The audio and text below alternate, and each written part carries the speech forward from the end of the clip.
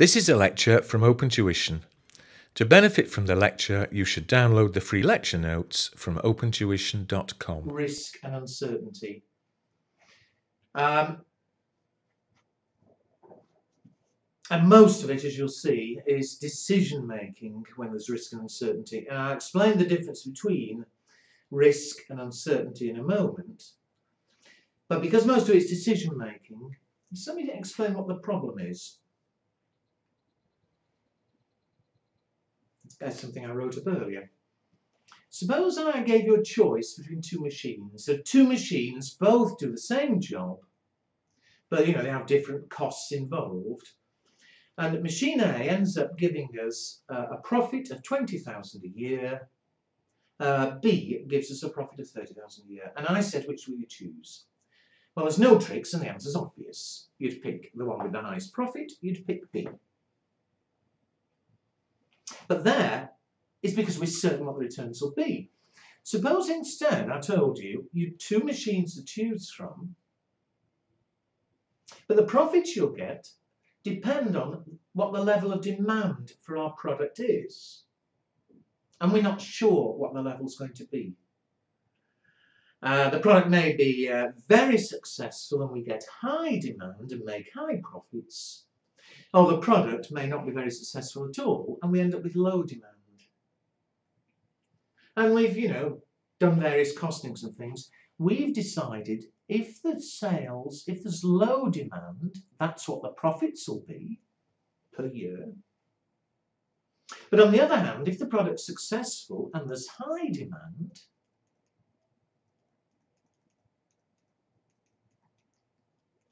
the profits will be a lot higher. Uh, a will give us a hundred thousand a year instead of 20. B, there's a different cost structure.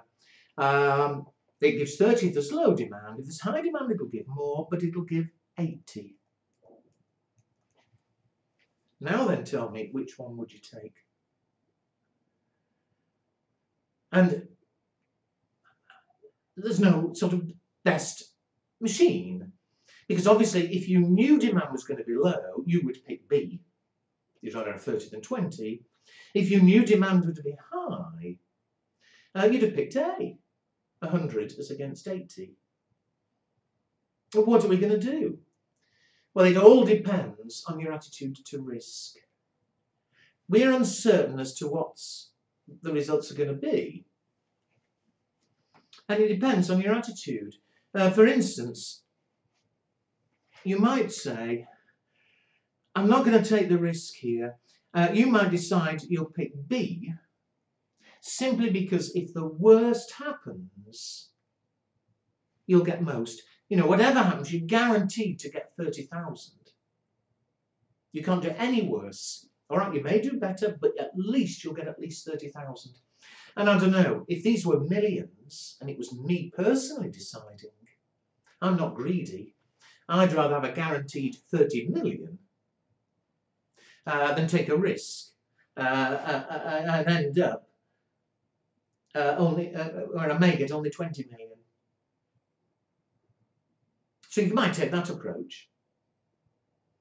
on the other hand, especially if these were relatively small amounts, if these were just cents, I might say, oh, I'll go for A. You know, that gives me the chance of getting 100,000. All right, I may only get 20, you know, but no problem. But, you know, everybody's different. It all depends on your attitude to risk and the amount of money involved. As you'll see as we go through, there are several ways you can go about making the decision effectively. I've just shown you two ways, but I'll, I'll do it more formally shortly. There are several ways. There's no best way of deciding. It depends on the amounts involved and on your attitude to risk. Uh, and in the exam, you won't be asked which is the best way. You wouldn't, they wouldn't say which is the best of those two machines.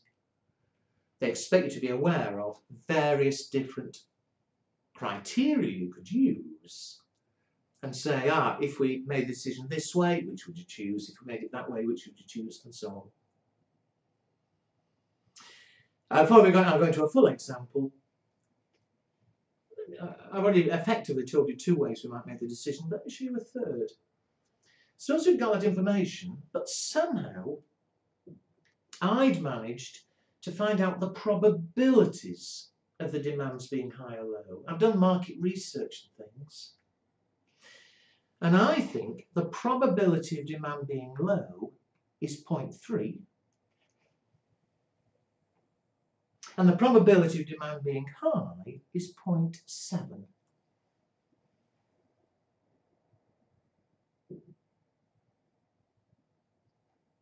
And uh, again, I said, uh, which would you prefer? Well, what you could do, another approach, would be to say, ah, if we picked A, we'll either get 20 or 100 with those probabilities, and we could work out um, effectively a weighted average. For A, we'd say, ah, there's a 0.3 probability of getting 20,000, a 0.7 probability of getting 100, and we could say, well, the weighted average multiply together and add up. A 0.3 times that is 6,000. 0.7 times that is 70,000. And say, ah, it's an average of 76,000. You know, I, I was saying effectively, or if we did it 10 times, three times we'd get 20, uh, seven times we'd get 100. Well, it would average out at 76,000 each time. And if we did the same for B, well, a 0.3 probability of getting 30,000, a 0.7 probability of getting 80,000 is 9, uh, 56, 65,000. Again, I do hope I've done my arithmetic right. And we could say, all right, with that extra information, A is like an average of 76, B is like getting an average of 65, and therefore, ah, we choose A. Uh, and we call those averages the expected value.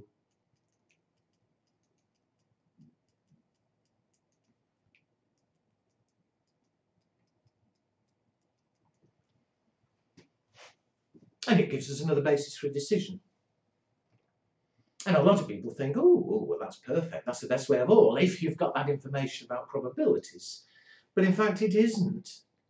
And it's not a perfect way. It's a way of making a decision. But if, you, if this was something you were going to do, you know, 10 times, then perhaps on average, A would give you 76, B would give you 65, A would be better.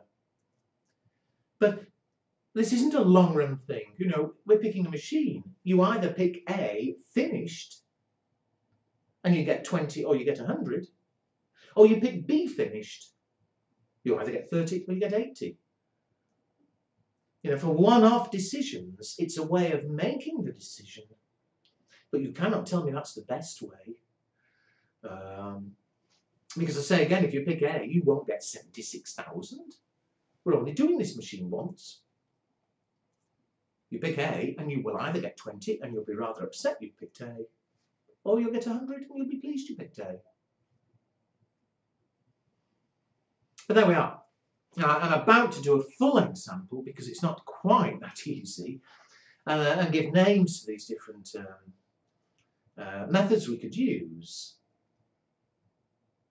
But I say again, there is no best way of making a decision It depends on the uh, attitude uh, to the risk, it depends on the amounts of money involved. Uh, in the exam, you make the decision whichever way you are told to make it. Uh, before I do do the example, uh, the, the chapter's headed up risk and uncertainty. Well, it, it does say on the first page, um, risk is where we can actually quantify it, uncertainty um, where it's not as well defined. So here when I use expected values, we can actually measure it. We know the returns, we know the probabilities. You know, there's a set number of returns. It's either 20, 100, 30, 80. So this is a, a situation where we could say it's risk. Uncertainty, more likely in real life, um, you won't be able to put numbers to all the figures. You know, the return from A, if it's uncertain, could be anything. Um, you're unlikely to be able to say it's going to be precisely this or precisely that and so on. Anyway, there we are. Let's look at a proper example. Uh, there is a tiny exercise one which I'm not going to do. It's repeating what we did here effectively. Not as good as what I did here. I'm going to go straight into a full example where I'll explain the different ways of making a decision that you're expected to be aware of. Um, it's uh, paragraph 6 exercise 2. Have a read with me and uh, then we'll work through it. John has a factory capacity of 1200 units a month. So that's the most we're capable of making. Units cost $6 each to make and our normal selling price is $11, so we're going to make $5 a unit profit. However, the demand per month is uncertain and is as follows. It's either going to be 400, 500, 700 and 900 with those probabilities. However, we've been approached by a customer who's prepared to contract to a fixed quantity per month at a price of $9 a unit. Now remember, the units cost us $6. So if we sell to this customer, uh, we'll only make $3 a unit profit, but he's going to sign a contract to buy a fixed amount each month. So, you know, we're going to be guaranteed sales, so for that reason, uh, uh, perhaps I'm happy to accept a lower profit. Uh, he's prepared to sign a contract to buy 3, 5, 7 or 800 units a month. We can vary production levels during the month up to maximum capacity, uh, but we can't carry forward any unused uh, units in inventory. And so remember, the most we can ever make is 1200. Subject to that, we'll vary the level, we'll produce what we're going to sell. And it wants us to calculate all possible profits that could result and determine for what quantity should we sign the contract. Uh, worry about part C later. Well, let's look at part A. Calculate all possible profits that could result. Well, what's going to affect the profit? Two things. Firstly, it'll depend on what we sign the contract for. If we sign the contract for 300 units, then of course we're guaranteed to sell 300 units at that low price. But in addition, we've got the normal demand, which might be 457 or 900. So the profit we make each month will depend on how many we've contracted to sell and in addition how many normal people want. And so let's set up a table showing all the possibilities that we could end up with. Now, you set up your table any way you like, I'll do the way I like. It depends first of all on what size contract we sign uh, we can sign a contract. There's four choices here. It'll either be for 300 units, 500 units, 700 or 800. Uh, but it'll also depend on normal demand. And the normal demand might be, where are we, 400 units, 500 units, 700, 900. And the eventual profit we end up with depends on which combination of those there are. Uh, you know, do we contract 300 and sell 400 to normal customers? Or Do we contract 700 and normal customers want 700 and so on? It will depend. So let's work out in each case how much profit we'd end up with. Um, I'll label, I'm not going to do workings for every single one of them because it's fairly repetitive, uh, but I'll label and show workings for some of them.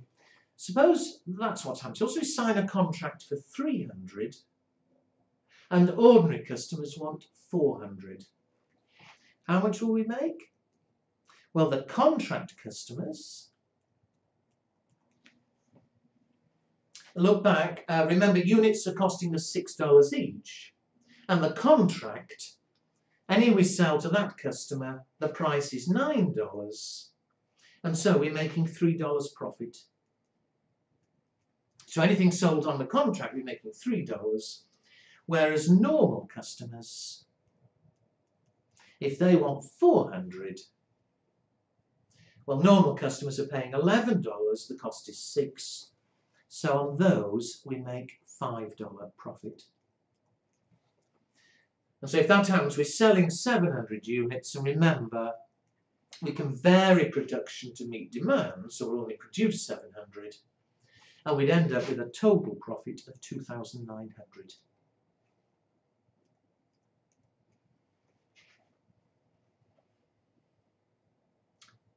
Um, I said I'm not going to show workings for all of them, uh, but let's do another two or three. Let's do this one.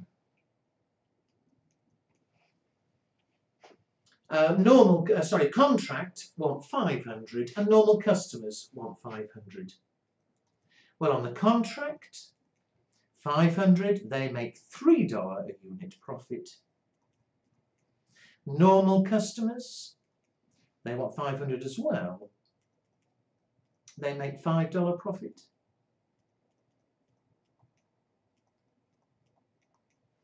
So total 4,000. I said it a moment ago, it's very repetitive. Once we get into it, uh, it, it becomes speed. However, let's look at one more. What about this one? Suppose we decided to sign a contract for 800 and ordinary customers wanted 900. Well, if we sign the contract for 800, we have to supply 800 and contract sales make $3. Normal customers want 900, but we've a problem. Because remember, the first line of the question said, our capacity is 1,200 units a month, so we can only make 1,200 units a month. If we sign the contract, we've got to supply that customer with his 800 and it means that we're only capable of producing another 400. So even though ordinary customers want to buy 900, we can only sell 400 to them. The rest will have to go away. We can't produce more than 1200 in total. So those 400 to normal customers, remember they make $5 a unit. and so the total there would be 4,400.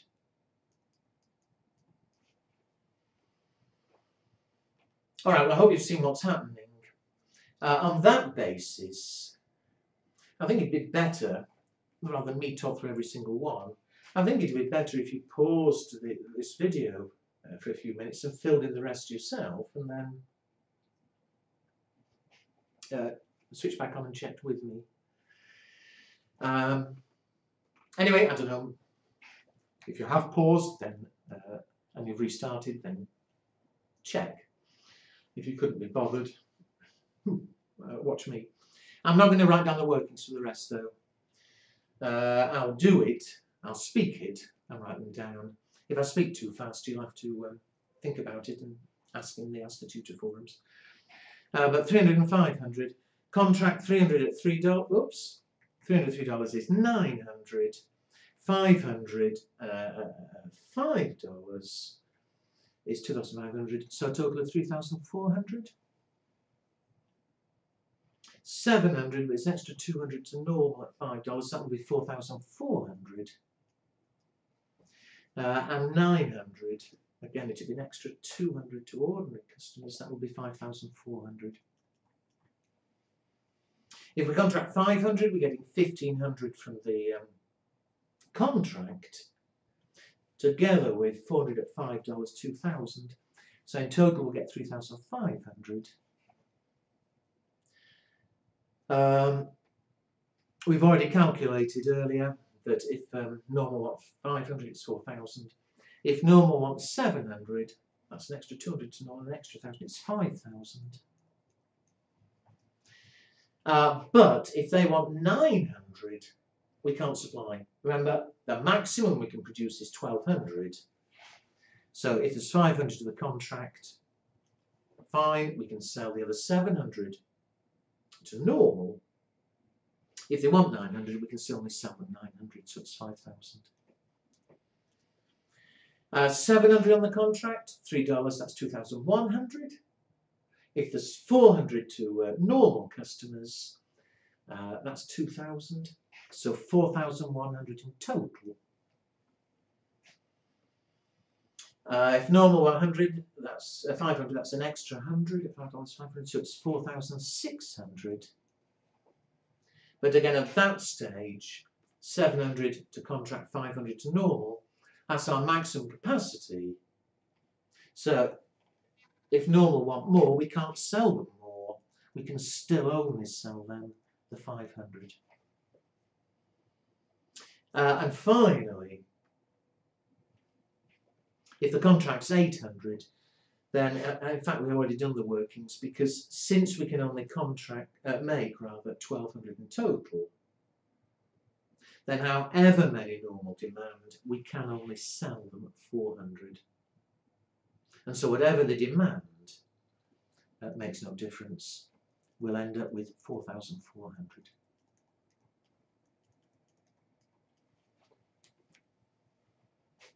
So there we are. That is part A. And that is obviously the time-consuming part. It's very easy when you're rushing to make silly mistakes, but otherwise it's a question of just reading carefully. More importantly, though, is how are we going to decide? Sorry, I'm trying to make space so it doesn't get too cluttered. How are we going to decide what decision to make? Okay, now let's uh, look at part B, uh, where uh, we need to learn the decision-making rules.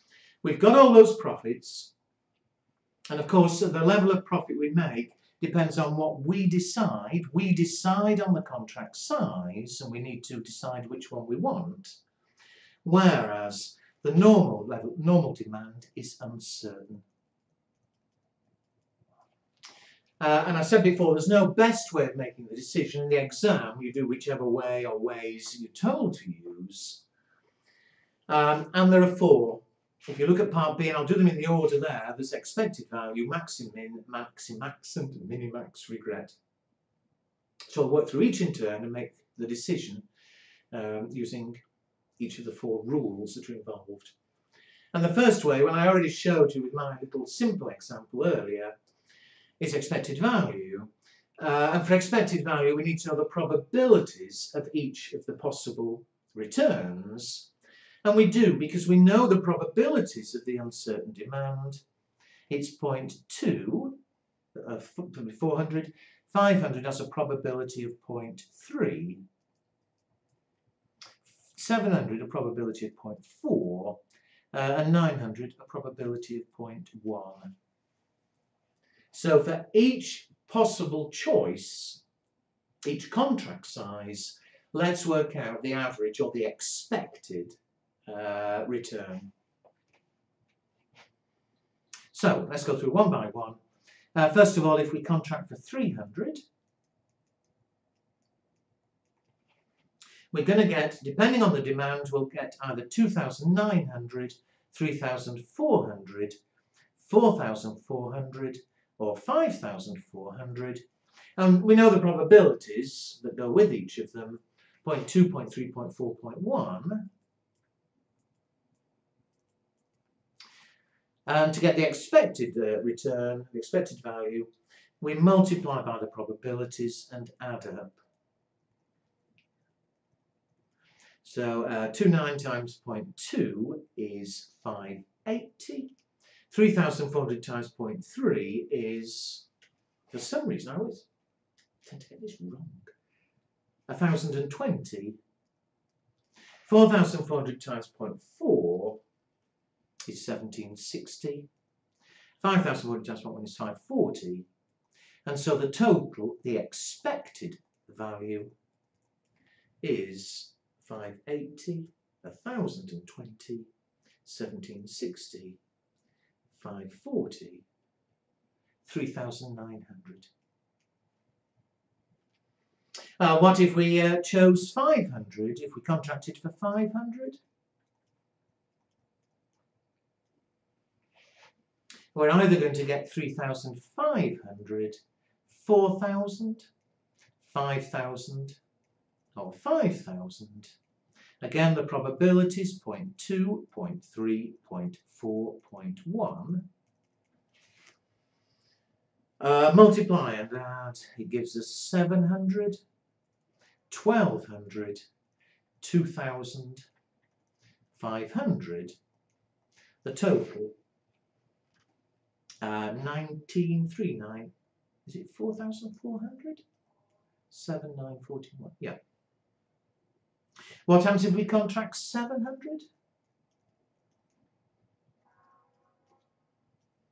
Uh, it's 4,100, 4, 6, 4, 6, 4, 6, point 2, point 3, point 4, point 1,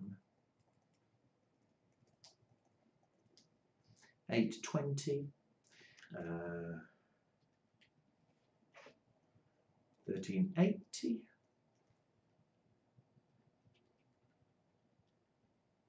Eighteen forty.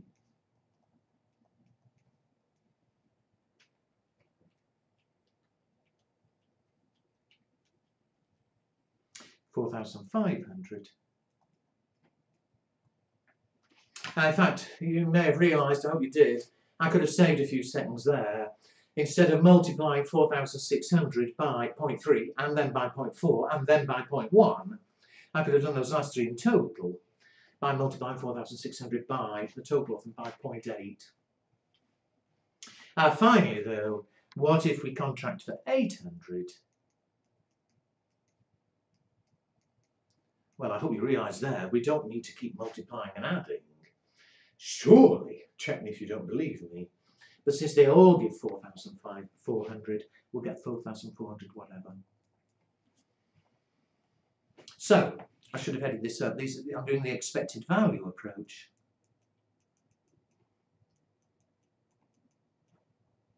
On expected values, work out the average, the expected return for each of the four choices.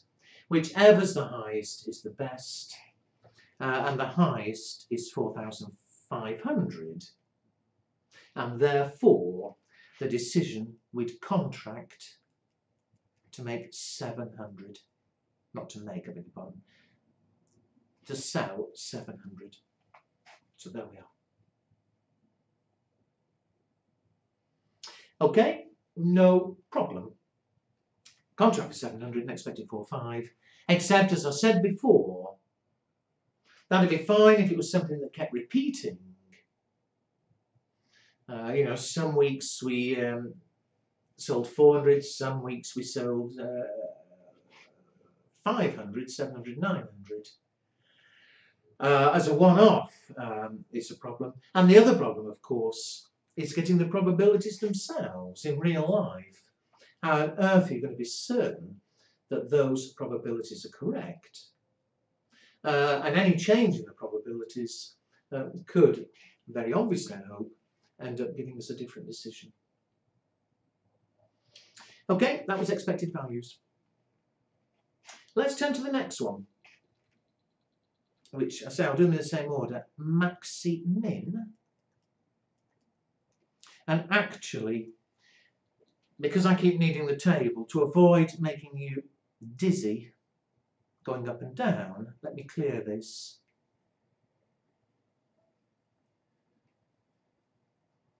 If you've lost it, remember you can always wind back. All those answers at the back of the uh, notes. But it's just otherwise to keep going up and down to the table.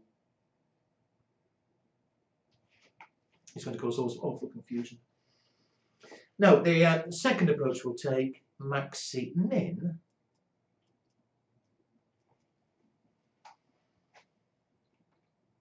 with maxi-min, what we do is this. It's sort of slightly pessimistic. We say that each course of action that we can choose, so here we're choosing contract size, in each case we say what's the worst that can possibly happen and we pick the best of the worst. I'll write that down but then I'll put the numbers to it. With maxi-min for each course of action, or for each choice, we identify the worst outcome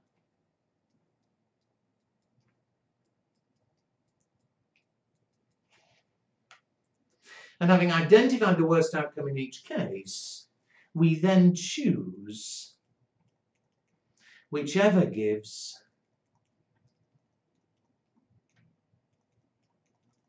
the best of these worst outcomes.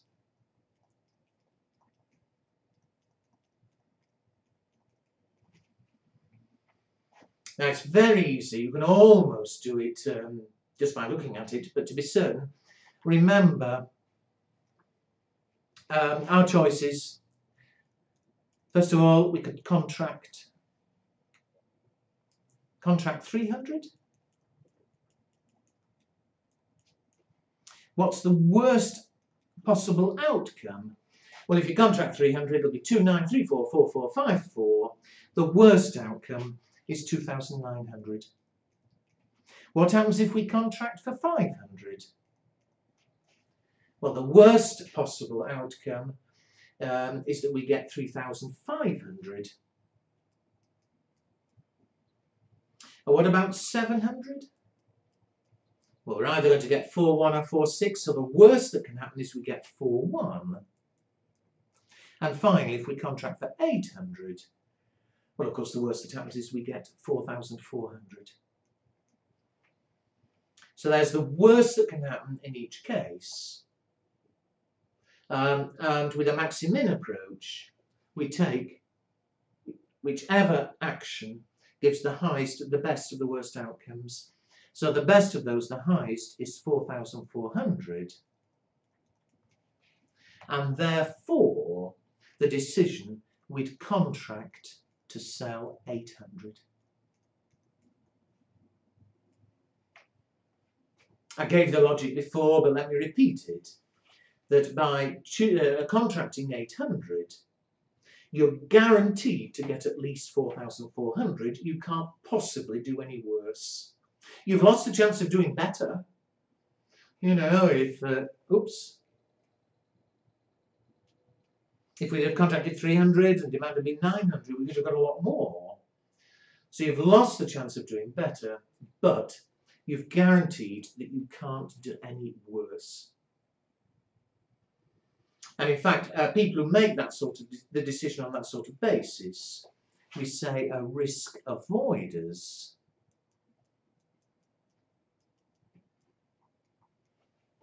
We're not prepared to take the risk of going for a higher return. Because if we did contract 300, we could get a lot more, but there's a risk of getting a lot less. So there we are. Nice and easy, I think. Maxi-min. Uh, note, you can see what's coming. The words all look very similar. So be careful that you don't do the wrong workings for the right requirement, if you see what I mean. But I think it should be clear why we call it maxi-min. We're picking the best, the maximum of the worst, the minimums. Maximum of the minimums. Okay, no problem. Let's look at the next one. Maxi-max. I said before, I'm doing this, then we um, don't have to keep moving up and down.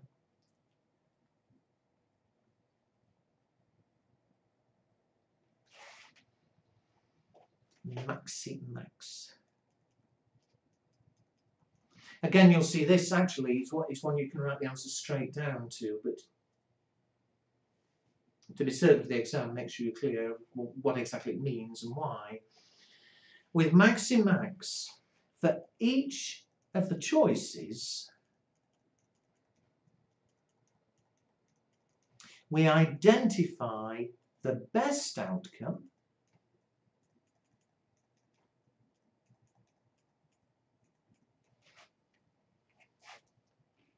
And to make the decision, we choose the action that gives the best of the best outcomes.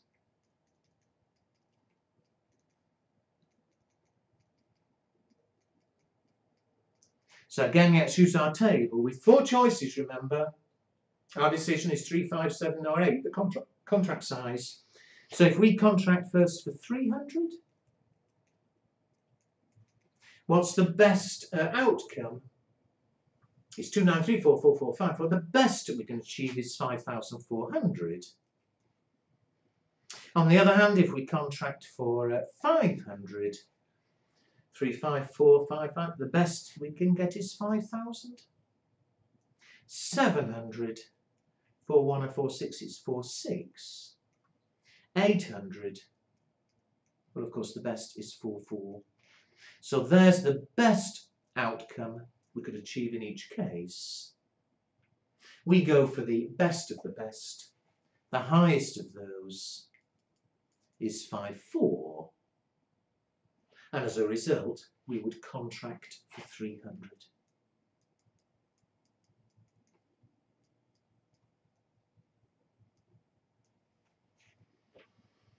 It's an easy one, and in fact, you, can write that one straight down. Uh, you're always aiming for the best possible return. But at the same time, be clear why it's called maxi max. It's the, the, the maximum of the maximum. I think you see what I mean. And again, there is no best method I'm sorry, well, I'm not sorry repeating because it's important. Uh, it all depends on the amounts involved and the attitude to risk. Because, of course, making the decision on this basis, is going for 300, the benefit's obvious. You've got a chance of getting the highest possible return, but you're taking a risk. Um, you could end up with the worst possible return. We're all different. It's the attitude to risk and the amounts of money involved. Uh, when I say attitude to risk, we say that people who make the decision this way are risk seekers. A risk seeker uh, precisely the reason I just said. You've got the chance of the best return. You're, prepared to accept the risk of the worst. All right, well, so far so good. I hope you followed me, in which case you, I hope you'd agree. Um, maximin and maximax are very straightforward. It's just being careful you remember the words. Uh, and expected value obviously takes slightly longer but I, I, I think is easy enough. The last one, though, is a little bit odd. Minimax regret.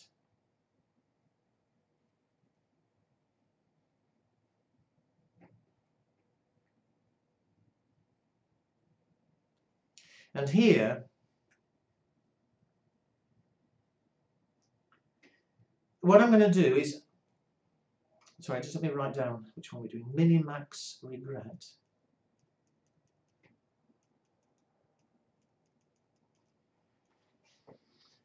I'm going to leave uh, our example for a second. I'm going to write up a tiny, tiny problem just to explain what we're going to do with Minimax Regret, the logic, it won't take many seconds, minutes, but then I'll come back and do it on, on, on this full example uh, using our table. So, be patient again with me. A tiny, tiny little example.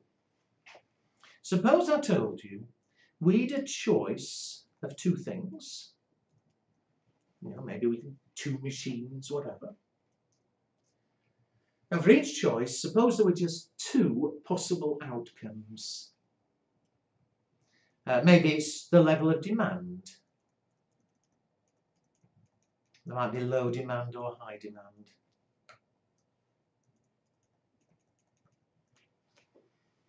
Uh, and if we choose choice A, we'll either get 10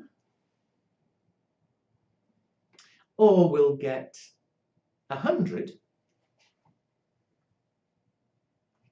Whereas if we go for choice B, we'll either get 9 or we'll get 10,000.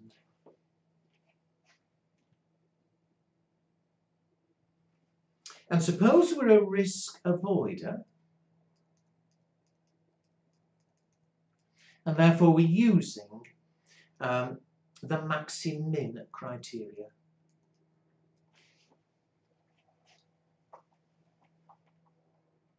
Well, using the maxi-min rule, which one would you choose? Remember, with maxi-min, you say, ah, what's the worst outcome in each case? A, you get 10. B, the worst outcome is 9. And then you choose the best of the worst. You choose A.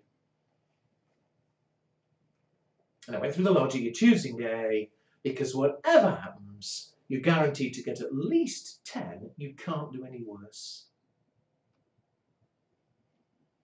Now, although there's a logic to being a risk avoider, and that example is extreme deliberately, I think you'd be completely mad to choose A. Because A, you either get 10 or 100. B, okay, you might get a bit less, 9, but only a dollar less. And you have the chance of getting 10,000. Or make it more extreme. Suppose B gave $9.99. On maximin, you'd still pick A. We're going to get at least 10. Well, I'm sorry, I think just about anybody uh, would rather go for B. They're prepared to risk losing one cent when they've the chance of getting so much extra. And that's a problem that can be with maxi-min. And of course, the reason I certainly would choose B is that you're comparing, you're saying, oh, well, um, if demand's high, get an extra 9,100. If demand's low, I'll lose a cent. You're comparing the two when you're making the decision. Uh, and so, that's effectively what we do in Minimax Regret. We look to see how much are we losing if we've made the wrong decision. If it's low and I've picked B, we lose a cent. If it's high and I've picked A, we lose 9,100. I, I think you see what I mean. We, we're going to look at how much we lose if we make the wrong decision. So that's basically what we're going to do. But now let's do it on our example. And watch me very carefully. It's not arithmetically hard, but it's so easy to end up doing silly things because you've sort of half learnt it. The first thing we do, we take our profit table, which is what we've had there all along, and we rewrite it as what we call a regret table.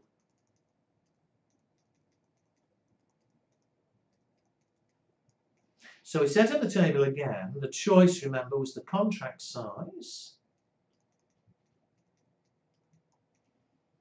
which was 3, 5, 7 and 8,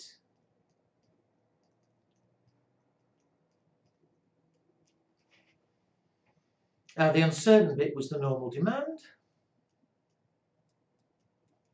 which was 400, 500, 700 and 900.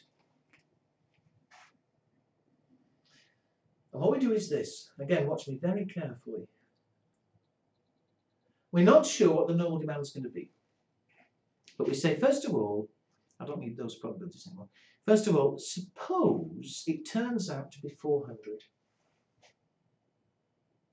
If it does turn out to be 400, what would have been the best decision? Clearly, the best choice would have been to contract for 800. So if we had contracted for 800, we've got the best possible result for that level of demand. And we've lost nothing. We've no regret. But if it was 400 and we'd chosen a contract size of 700, we'll only have got 4,100. We know we could have got 4,400. And so by having picked the wrong one, we've lost 300. 300, which remember is 4,400 is what we could have got, 4,100 is what we have got if we'd chosen 700. Uh, what happens if we'd have contracted 500? We'll have had 3,500 we'll know we could have had 4,400 if we made the other choice. And so uh, we've lost effectively the difference. 4, 4 minus 3, 5 is 900.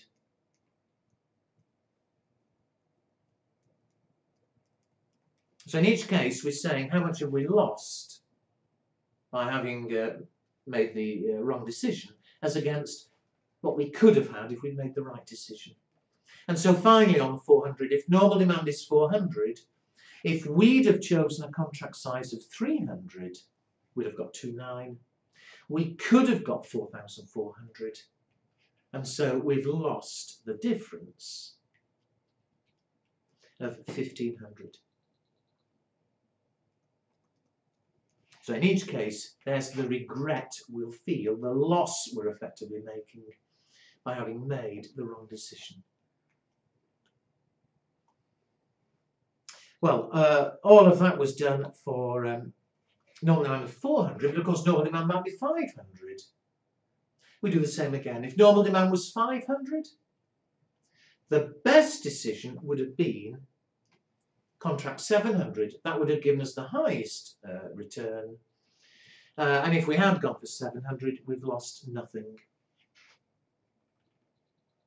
Uh, but if normal demand was 500 and we've gone for any of the other contract sizes, we've lost out. If we'd gone for three, uh, 300, we'll only have got 3, 4. We could have had 4, 6. We've lost the difference of 1200. If we'd gone for 500, we'll have got 4,000. We could have had 4, 6. We've lost the difference of 600. And finally, if we'd gone for 800, we'll have had 4, 4. We could have had 4, 6. We've lost the difference of 200. So by now you should be seeing what's happening. But let's finish the other two off. Uh, if uh, demand is 700, the best choice would have been contract 500. We'd have had 5,000, no regret. For the others, the difference between what we'd have got and the 5,000 we could have got. So uh, 5,000 less 4, 4 is 600. 5,000 less 4, 6 is 400. 5,000 less 4, 4 is 600.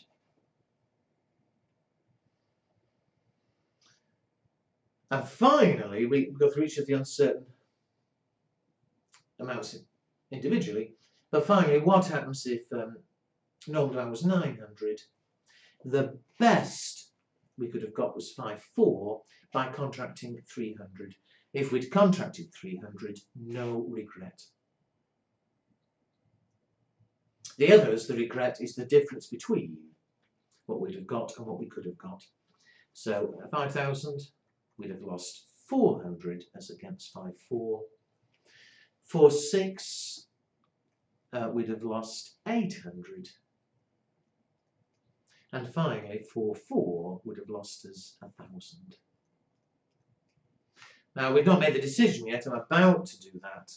And that, the decision making itself isn't hard, uh, but it's setting up that regret table. Um, do, do make sure you've made sense of it. However, having done that, now we'll make the decision. And what we do, and the reason it's called Minimax Regret, we are a risk seeker and so, just like uh, Maximin earlier, we identify the worst outcome in each case.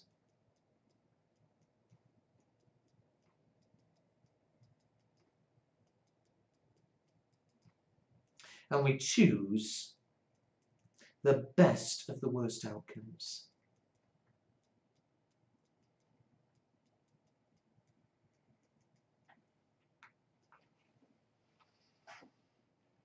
And so let's go through the contract sizes.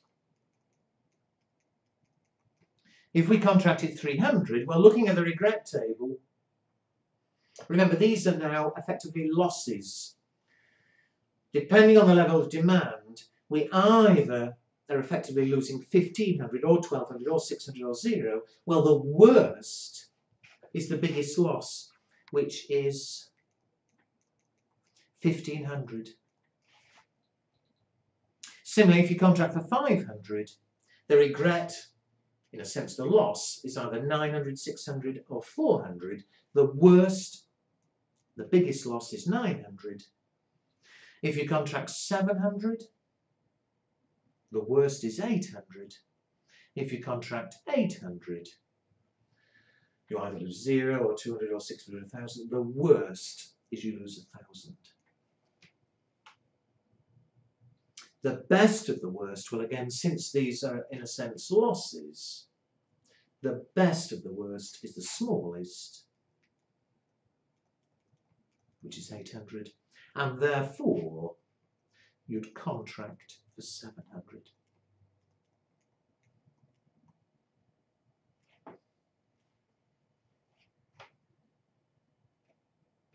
And there we are. Uh, and I said before, you know, obviously learn the names, don't get them muddled. But I think you can see why it's called Minimax Regret, um, because we've done the regret table. We're making the decision based on the regrets. So the best of the worst, the best was the minimum of the maximum regrets. Mini max.